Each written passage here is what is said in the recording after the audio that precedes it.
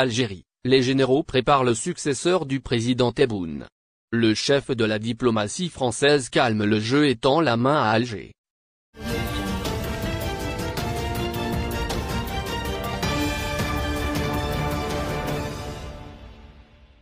Le chef de la diplomatie française calme le jeu et tend la main à Alger.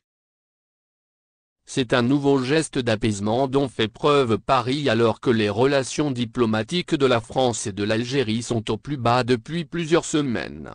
En effet, la France affiche ce vendredi dans Le Monde, par l'intermédiaire de son ministre des Affaires étrangères Jean-Yves Le Drian, la volonté de nouer un partenariat ambitieux avec l'Algérie, au-delà des blessures mémorielles qui peuvent parfois ressurgir. Nous avons des liens ancrés dans l'histoire. Nous souhaitons que le partenariat franco-algérien soit ambitieux, indique le chef de la diplomatie française dans cet entretien mis en ligne vendredi matin sur le site du journal. Il est logique, quand on connaît notre histoire, qu'il y ait parfois des résurgences de blessures, mais il faut dépasser cela pour retrouver une relation confiante, insiste-t-il. Le président a pris des initiatives fortes, notamment dans le domaine sensible de la mémoire. Nous avons des liens ancrés dans l'histoire. Nous souhaitons que le partenariat franco-algérien soit ambitieux, a précisé encore Jean-Yves Le Drian. D'après le chef de la diplomatie française, il y a parfois des malentendus, mais cela n'enlève rien à l'importance que nous attachons aux relations entre nos deux pays. Il faut conserver ce lien fait de respect des souverainetés et d'une volonté commune de dépasser les contentieux pour retrouver une relation apaisée, a-t-il expliqué dans les colonnes du quotidien français Le Monde. L'Algérie a alors rappelé son ambassadeur à Paris et interdit le survol de son territoire aux avions militaires français ralliant le Sahel. Le président français a depuis fait part de ses regrets devant la polémique engendrée et s'est dit fortement attaché au développement de la relation bilatérale.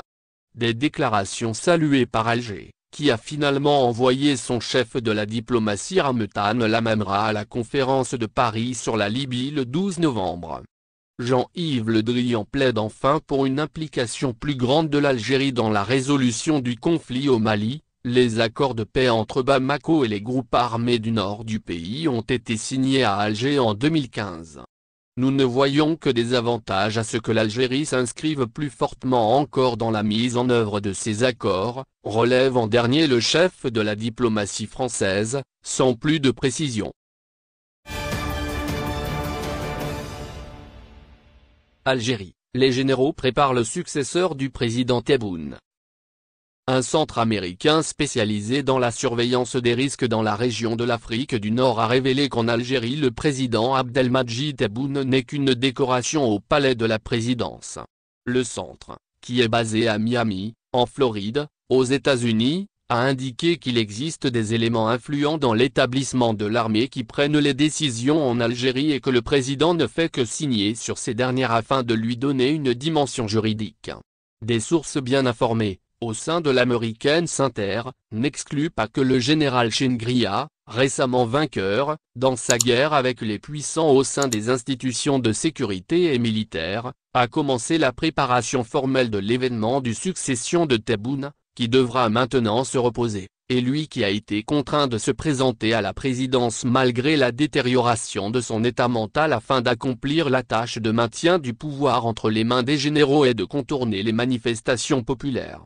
Les observateurs disent que ce fait, dans la mesure où il indique l'état de santé caractérisé par l'impuissance totale du président algérien, il révèle aussi une lutte cachée qui se déroule dans les couloirs de la présidence sur les modalités de succession de Tebboune, concernant le moment de l'annonce de la démission du président ou la personne la plus susceptible de lui succéder.